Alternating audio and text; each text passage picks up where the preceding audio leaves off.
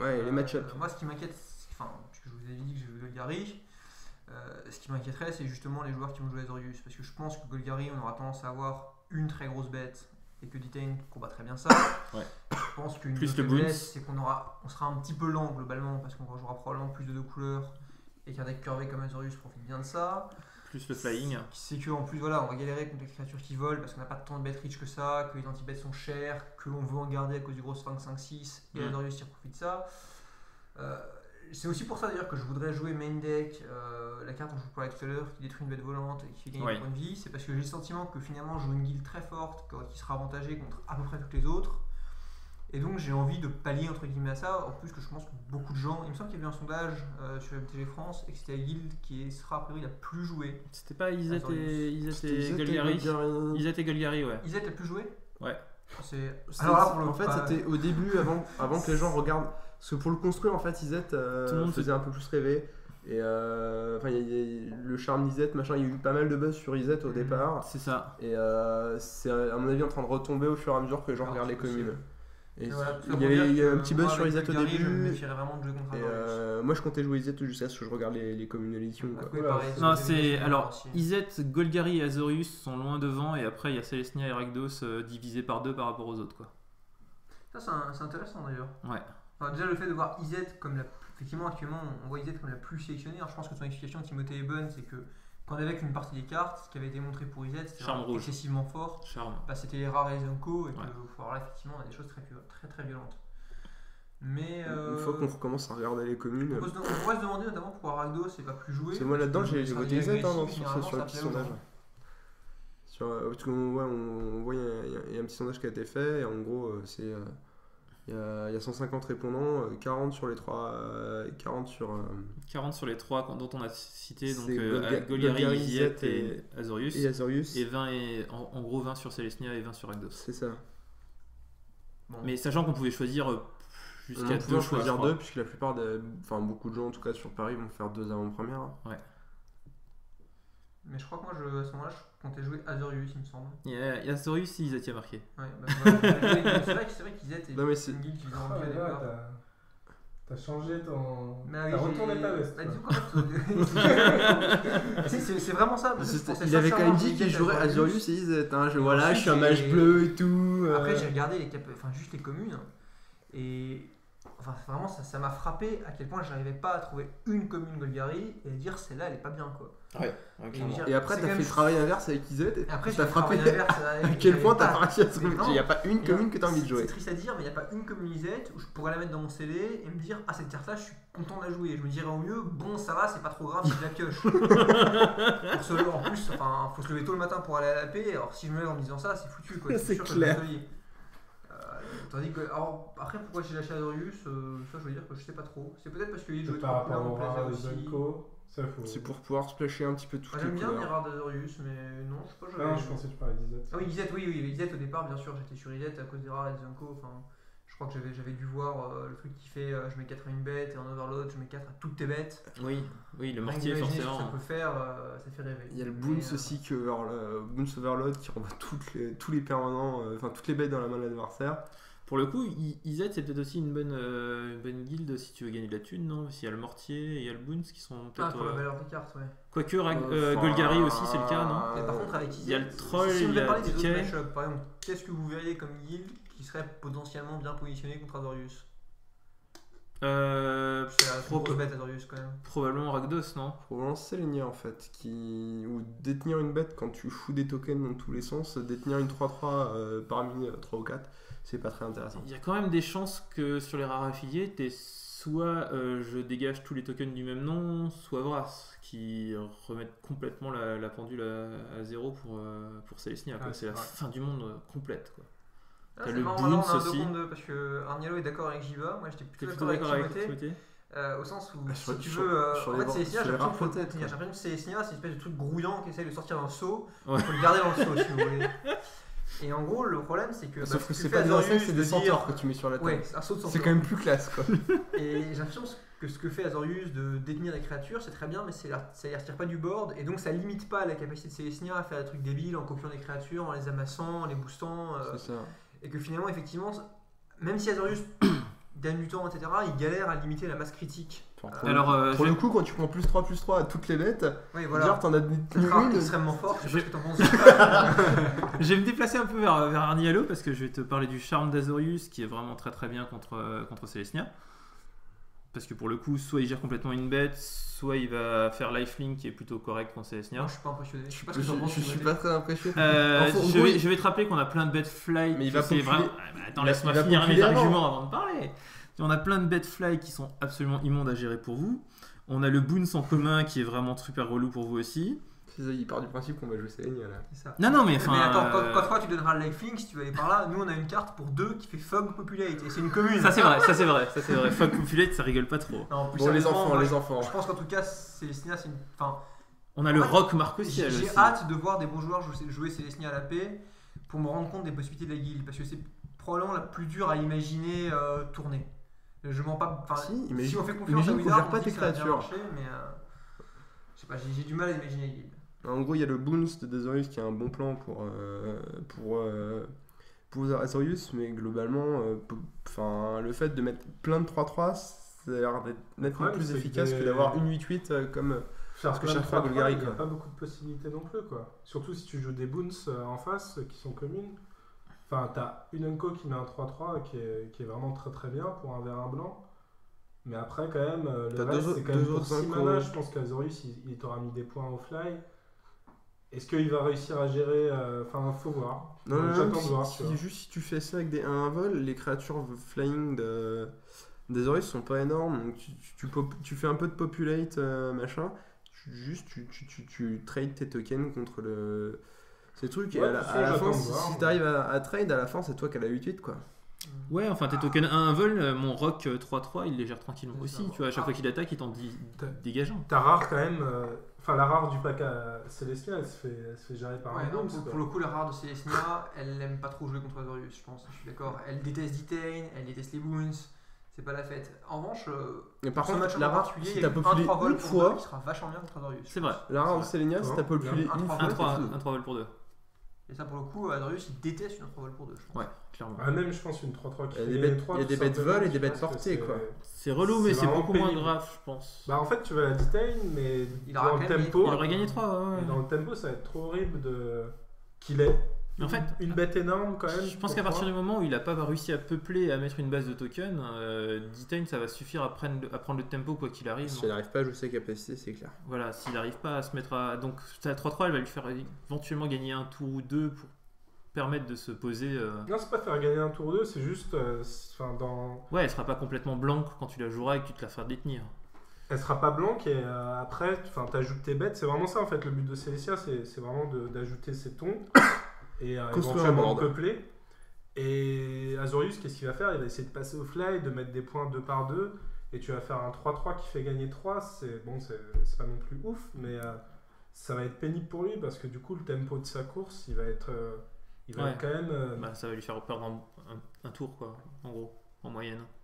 Bah après, ce sera une 3-3 qui viendra de voir. c'est Ouais. pas- Enfin, je sais pas, c'est c'est vraiment. Pour le voir. coup, le, la, la 2-5 euh, patron de guilde, elle fait beaucoup, beaucoup plus flipper. Hein.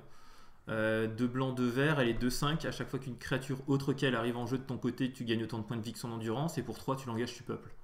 Ah oui. Ok. Oula. Elle, euh, Ah, c'est un peu la fin du monde pour Azorius. hein. Pour euh, Rakdos aussi et ah, faut pour. euh. Enfin, elle est, elle est Là, t'as deux- insane cette T'as deux, créature. co- deux communes blanches qui la gèrent. Oui, Et alors, oui, alors par contre, pas pour le même prix non plus. hein. Justement, c'est important du coup, elle se fait pas gérer par Detain. Et c'est concrètement. pas géré par Detain. Non, t'as deux communes blanches, tu peux quand même activer gère. tes capacités au début du tour de l'adversaire. Alors tu peux pas faire pendant ton tour, mais c'est pas grave. Ouais. Tu vas attendre le début du tour de l'adversaire et avant qu'il redetain, tu vas utiliser ses capacités. C'est ça. Ce qui est un, est un problème d'ailleurs, c'est que Detain, c'est bon, c'est bien sûr très fort, mais ça lutte pas si bien que ça contre Toutes les, les capacités activées, hein. capacités. On Ouais, va continuer sur les, sur les match-ups parce que là on a parlé que de d'Azorius Selenia. Non, mais c'était un match intéressant, tu vois. Pour le coup, euh, il était pas, il est pas évident. Autant tout à l'heure, on se disait Golgari contre Azorius, ça semble être pour Azorius parce que autant là, euh, Euh, pareil, Rakdos, ça a l'air de se faire bourrer contre d'être assez- Selesnia. Ça a l'air. Rakdos, non mais pour continuer sur Azorius. Azorius, Rakdos, Azorius, ça a l'air pour moi relativement équilibré au niveau de le. Là, ça va dépendre énormément de la sortie des deux. Quoi. A priori, ça va vraiment être un, un combat de sortie. Il y a un messager interville dans cette extension. Interdit. On est obligé de le dire. Je sais pas- je sais pas si le cheval fait la machette. J'avais jamais, j'avais, j'avais pas lu le nom de la carte. Euh, mais en, en fait, Rakdos euh, contre Azorius, c'est pareil, il va prendre vraiment facial le lifelink de- du charme s'il y en a. Euh, il va Ouais. prendre assez dur la commune qui fait euh, pour deux detain euh, cantrip. Donc euh, un, un bleu, un incolore, euh, tu Ouais. detain une bête et tu pioches. Ce qui est Moi, vraiment ça, très très fort. enfin, je vais t'exprimer dessus la semaine dernière, mais je pense que pour le coup, le match-up euh, Azorius contre Ragdos c'est très très largement en faveur d'Azorius. Ouais, Il y a pense. aussi beaucoup de bêtes qui sont deux. Enfin, il y a une 2-4 2 4 flash vigilance, elle est Quand tu joues Ragdos, tu fais pas, tu fais pas la fête. Ouais, c'est pas drôle du tout ça. Les- le boons qui fait gagner 2 points de vie est abominable. Ouais. Il y a quand même beaucoup de difficultés pour. Alors, Puis en plus, seul- après, tu vas te faire Le seul point positif pour Ragdos, c'est que de toute façon, tu pourrais pas débloquer les créatures en face. Donc vraiment, l'emportement, ça te coûte rien. Quoi. Tu peux faire mettre des plus en plus à toutes tes bêtes, de toute façon, elles ne bloqueront pas. Ouais. Mm. Euh, bon, euh, le match-up, Après, au noir, c'est toujours pareil. Hein, c'est- si ça, ça donne vraiment des decks euh, qui, qui jouent tout seul. Enfin, certains decks, c'est Oui. c'est vraiment anti-bet, anti-bet, anti-bet. Et, euh, Ouais. Est-ce qu'on peut partir du principe c'est bien contre le detain. Oui, Comment oui, anti-bet, c'est Avant, bien quand bah, le si, tu un si tu fais un anti-bet sur la bête qui arrive sur Oui, le oui, oui. avant, s'il te detain ce tour-ci, ça n'a plus aucune importance, il gagne pas Oui, de tempo, ça me c'est- Mm. pour le, match-up. Pour la suite. Azorius contre, euh, contre Izet, bah, Alors j'ai envie de dire, est-ce qu'on peut partir du principe que Izet a l'air moins bien contre les quatre autres et que du coup on va pas forcément Bah parler non, des match euh, je vais dire c'était le seul match c'est le seul match-up où Izet pourrait éventuellement être intéressant parce que Avec ça- le Boons 2 Enfin, avec toutes ces En fait, ça devrait durer et. Et les rares d'Izet vont pouvoir se, se, se mettre euh, Bah, à briller. Déjà, toutes les cartes d'Azorius, globalement, ont une endurance assez faible. Oui. Ça veut dire qu'on disait tout à l'heure que le problème du rouge, c'est que ça tue pas les créatures qui ont une endurance trop élevée. Hmm. Là, le problème se pose pas. Tous les blasts euh, de Izet vont se rentabiliser relativement bien contre les cartes d'Azorius, ce qui en plus va affaiblir la capacité d'Etain, ça c'est une première chose. Oui. Ça fait que, enfin, globalement, je pense pas qu'Azorius puisse tuer Izet sur une sortie particulièrement agressive, parce que Izet aura toujours les armes pour le calmer. Il y a un mur euh, 0,6 vol défenseur, enfin qui est horrible pour Azorius. Il y a quand même pas mal de joujoux pour, euh, pour calmer l'adversaire. Ah, le Même le dragon, le dragon qui a 4-4 vol. Oui, le Va dragon attaquer dans 4 le c'est ciel- dans le vrai. quand il y a ça en face pour te rencontrer. Quoi. Ça c'est vrai. Et effectivement, du coup, la partie va durer. Et si la partie dure, l'argument d'Azorius c'est son sphinx. Ouais. Euh, L'argument d'Izet c'est tout son paquet. Parce que tous ces spells overload, globalement, vont devenir des, des énormes menaces. C'est un archonte, monsieur, ce n'est pas un sphinx. Pardon, c'est un archon. C'est un bélier ailé. Donc ta principale menace, ce sera ton bélier ailé. Mais euh, en face, le, le mec qui jouera Izet, il aura beaucoup de sorts qui seront plus forts qu'avant. On, on va parler Et de- je pense que c'est le principal bon match-up d'Izet. Ouais. Par contre, si t'as chopé la rare qui fait euh, au bout de 5 tours j'ai gagné la partie, euh, Moi, ce qui me fait peur, bah, elle sera dans- potentiellement dans tes boosters affiliés. hein. Mais Enfin, t'as une chance sur si on- 6 si de tomber dessus. de toutes les rares que tu peux piocher Non, non, pour mais- définir les match-up. on peut Non, non, non, mais c'est- c'est- c'est- là, t'as quand même une chance sur 6 de l'avoir, ou une chance sur 7, Mm. tu vois. C'est quand même pas si ridicule. Qu'est-ce que tu disais, Arnaud? Non, euh, je sais plus. Pardon. Euh, Non, je sais plus. Il est T'as- T'avais toujours un blo- nom de il est carte toujours- rigolo? Toujours bloqué sur message Interville.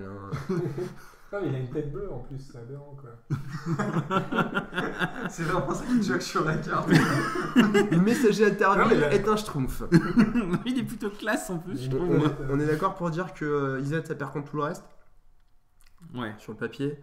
Euh, Ouais, complètement, ouais. Alors je pense que pour le coup, Isaac Golgari, ça va être euh, une euh, Golgari Radkos. Ragdos. Ragdos.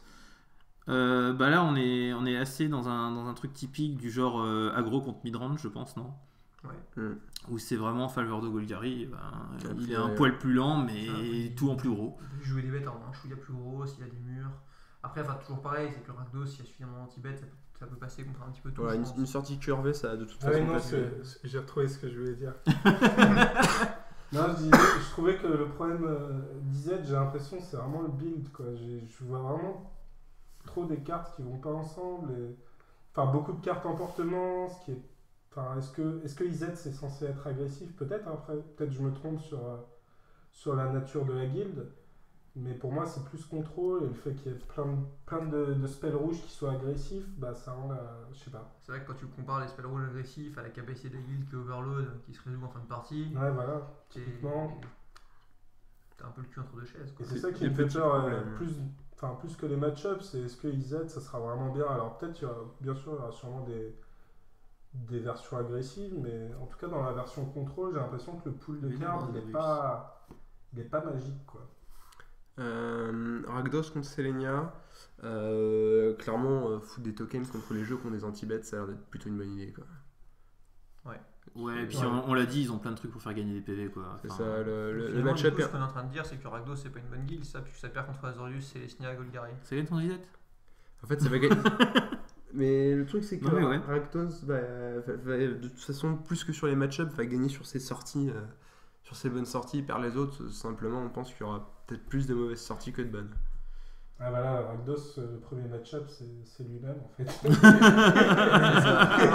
petit peu de ça. ouais. Il se bat contre lui-même. Un peu comme les sportifs tu vois, qui expliquent que leur premier adversaire c'est eux-mêmes, machin, faut qu'ils arrivent. non, par contre, ça, fait, ça, ça peut proposer clairement du, du très lourd. hein, mais euh, c'est vrai que quand on voit d'un d'un point de vue global, on a toujours peur des foules, on a toujours peur euh, des, des sorties qui vont pas dans l'ordre. Et, euh, et c'est vrai qu'il y a beaucoup de spells aussi qui coûtent cher dans Rakdos, du coup, euh, je sais pas, à voir. Mais c'est clair que ça peut faire des sorties qui gagnent toutes seules. Toutes seules ça, c'est... Ouais. Enfin, il y a vraiment des bêtes. Il y a de euh, quoi faire. hein. quand tu enchaînes les bêtes euh, sur le, sur le play, quand tu enchaînes des, des bêtes emportement, euh, bon, bah, une tour 3, une 3, 4, euh, enfin, etc., ça, ça va assez vite. quoi. Et il reste donc euh, Golgari Selenia dont on n'a pas parlé. Euh, là, Ah. c'est assez peu évident, je trouve. Ça va être très ça pour le coup, ça risque d'être très intéressant à jouer. Ouais. Euh, ben, le but de Gelgari, ça pourrait être essayer d'empêcher le, euh, le peuplement de, se, de commencer à, à- être en marche, mais elle a pas beaucoup d'armes contre ça. Pour pouvoir faire ça. C'est ça. Par contre, le, le truc, c'est que Golgari devrait avoir la, la plus grosse créature euh, assez facilement et obligé. euh, alors, le plan de Golgari, c'est d'avoir une grosse bête, si possible avec de l'évasion, et sinon que, que Selenia soit obligé de bloquer à chaque tour en fait. Ouais, je pense que Ouais. Golgari a quand même besoin de mettre une petite pression. hein, Parce que même Ouais, si à un moment t'as une bête énorme, comme l'adversaire aura 15 tokens en face, même s'ils sont moins gros, il pourra finir par la tuer. Donc c'est- en- je pense qu'en fin de partie, attaquer un board de, un board de Célestia, ce sera faisable qu'avec des créatures volantes globalement. Ouais, ça sera- Même le Trample, ça passera plus quoi. Euh, du coup, je pense que c'est quand même. Mais bon, après, enfin, Le truc, c'est que si, tokens. si tu ta grosse créature, tu t'en mets une autre derrière. De toute façon, t'as toujours ouais, euh, moyen de remettre une, une- une autre grosse bête. Après, t'as quand même peu d'effets qui te permettent de peupler sans jouer une carte en fait. T'as Mm. genre deux cartes qui font peupler euh, indéfiniment, genre le, le- une mythique et une rare, et toutes Si- les autres, c'est n'y un a pas les effet. rares pour peupler, il Ouais. n'y aura pas tant de tokens que ça. C'est ça. Il faut avoir les tokens de base aussi. hein. Il, y a- Il faut avoir les tokens de base. il y a une, il y a une créature aussi c'est vraiment le problème. C'est vraiment le Ouais. problème du truc quoi. C'est que Célestia, Ouais. si t'amorces pas la pompe, Mais elle est mythique. tu, vas, tu vas passer la partie à Oh. galérer. Ah, bah, il y a les- le- Les communes et les unco, bon. Il y a le mage aussi, qui, le, le guide mage qui, qui Ouais, peut- cher quand même. hein. Mais le problème, c'est que c'est- les cartes vraiment fortes, c'est pas les cartes qui mettent des tokens dans Célestia. Oui. Euh, de à, à Sauf si- le 3-3 pour qui met 2. 3-3 pour 2 qui est excessivement forte pour le coup. Ouais. Mais euh, en dehors de ça, les autres cartes, c'est des créatures qui sont très bien, mais qui font pas fonctionner la mécanique populate. Non, il va falloir Et qui piocher- sont chers. il va falloir piocher le land. Ouais, ça, par exemple, il faut piocher le terrain, sauf que. C'est peut-être la, la toujours guilde pareil, qui est la c'est rare, on plus dépendante de, la, de sa rare. Très probablement. Ouais, très probablement, ouais. D'ailleurs, je pense qu'ils ont très bien fait de mettre cette rare dans le truc. Ouais, ça, c'est intéressant, Ça je supporte trouve. bien la stratégie. Mais les rares, sont, je les trouve plutôt bien, bien pensés. Enfin, les rares Ouais, qu'ils je suis proposent. Voilà, ça, aurait pu, ça aurait pu être très facile de se tromper sur l'une d'entre elles, euh, voire sur plusieurs, et dans l'ensemble, euh, j'ai l'impression qu'elles s'équilibrent plutôt, euh, plutôt bien. Ouais, ils vont bien systématiquement dans la stratégie de la guilde. Je pas, je voudrais pas donner l'impression de m'acharner, mais je trouve que celle disette est C'est peut-être la moins bien, ouais. Enfin, pour la stratégie Elle de la guilde en tout cas. Elle est très forte, mais c'est celle qui a le moins d'interaction avec ce que fait sa guilde globalement. Ouais. C'est une bête qui voudrait mettre l'agression, mais comme généralement tu seras derrière sur le board, en fait, elle va surtout rester là pour bloquer. Je pense pas que la célérité soit si importante que ça sur une bête qui va souvent venir pour stabiliser le board et bloquer un attaquant C'est adverse. souvent que la première Ouais. bête importante que tu joues. Quoi. C'est ça, ouais. Et en plus, le fait que les autres bêtes soient faibles, ça fait que pour l'adversaire, c'est plus simple Ouais, de garder des trucs en main pour la tuer. Hmm. Euh, je sais pas, je, suis- je dois dire que je suis un petit peu déçu en fait par ce. Enfin, pas par la guilisette qui m'a l'air très intéressante pour construire avec beaucoup de cartes bien designées. Mais pour le seal, là. Pour le sealed, j'ai. Mais même après pour le draft, si on s'avance un peu, je pense que personne draftera Izet. Euh... Bon, après, on verra, on pourrait faire un truc différent sur le draft. Mais je pense que ce sera très compliqué de drafter Izet parce que vraiment, quand les communes globalement sont mauvaises en limité, et là, enfin. Pas grand chose à sauver. C'est le cas, les communes Ouais. sont mauvaises. euh, c'est dur de, de travailler avec ça. Et le draft, quand on aura chacun euh, au moins 5-6 dans les pattes, on, on On vous un de peu. draft euh, un peu plus tard pour la, pour la saison QT si, si vous comptez ne pas faire que du, Ninelo que du scellé. ce euh, plutôt 30-40.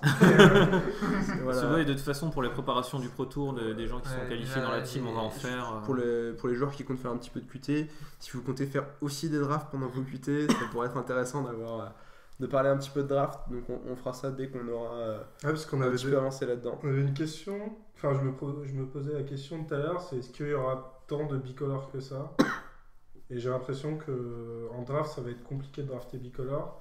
Et c'est vrai que vu tant qu'on n'a pas drafté, c'est un peu difficile à déterminer, mais j'ai pas l'impression que bicolore, ça sera, ça sera facile à jouer en tout cas.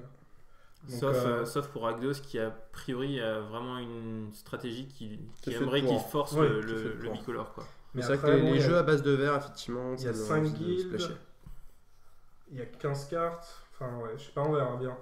Mais euh, C'est vrai, c'est pas très dur de splasher. Il y a, enfin, il y a des Ouais. terrains communs qui fixent. Il y a, des, il y a six différentes qui fixent, le- les cachets, et un- il y a six, six terrains communs qui fixent même. Oui, oui 6 terrains qu'avec le, le Il y a- spine. Cinq euh, portes et le le- spine, il y a 6 six unco et il y a quelques rares aussi qui fixent. Il y a un, il y a un- terrain commun qui fait n'importe quelle couleur de mana Oui, et c'est particulièrement agréable. Et en plus, Ouais, il y a le le- commune vert, donc c'est assez faisable, assez envisageable d'avoir trois couleurs. même Ouais. 5, hein, je- Oui, Ah non, cinq, ça, de- de mais non fou. 5 dans les Mais stratégies un peu pour bizarres. monter 5, il faudra quand même avoir une base verte a priori. Ah oui, non, ça c'est sûr. Alors que- ouais. Alors que tu pourrais envisager, par exemple, et là pour le coup les cartes euh, IZ deviennent fortes, de jouer euh, Azorius en splashant quelques-unes des bonnes Unco et qui là pour le coup en revanche sont bien. Ouais, Mm. très très bien même. Le rouge-noir, c'est rarement mauvais aussi euh, à Magic. Ouais. Rouge, vert, noir. Ouais, il y, aura des trucs à faire en draft. En tout cas, ce sera intéressant. et encore plus quand il y aura Mm. les autres extensions. Ce sera vraiment un autre format pour le coup que le, que le CEL avec beaucoup des stratégies différentes possibles. Peut-être un peu moins. Enfin, il n'y aura pas une rare toujours pour aller avec vos, vos cartes, etc. Peut-être aller chercher un petit peu d'autres choses. Alors que là, les, les, les cinq stratégies euh, possibles sont bien définies. on- Ce sera vraiment, vraiment un autre format. Ce qui est bien pour une AP d'ailleurs, que, que ce soit, ce soit Oui. plutôt clair. Clairement. Mais effectivement en revanche ça, ça Pour apprendre à jouer, c'est plus facile. En particulier. Non, mais ça a l'air assez bien designé pour la paix, euh, honnêtement.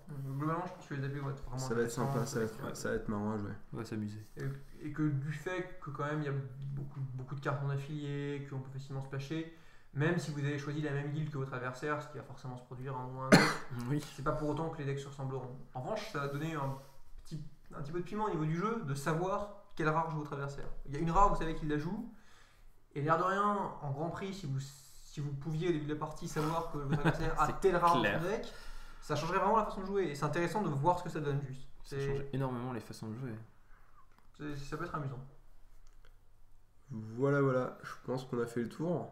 Ouais, on a fait à peu près le tour. On reviendra à parler de limiter plus en détail euh, quand on en aura fait un peu plus. Voilà. Enfin, de draft Donc, en tout cas. euh, on va vous souhaiter une bonne avant-première. Amusez-vous bien. Quel que soit l'endroit où vous la faites. On, es- on espère qu'on vous a aidé à- pour choisir votre guild, tout ça, machin. Si c'est pas trop Faire tard. des, faire des petits tricks pendant l'avant-première, etc. Si Ouais, vous j'espère. faire la même que moi, n'hésitez pas à jouer Isette. Pierre vous a bien mangé le cerveau. Il, il veut pas avoir de deck Isaac en Euh, fait. Pierre, il- Il flippe sur les decks Z. Il se pisse dessus. Enfin voilà. Alors on va vous le dire à à la prochaine. hein. Ouais, bisous.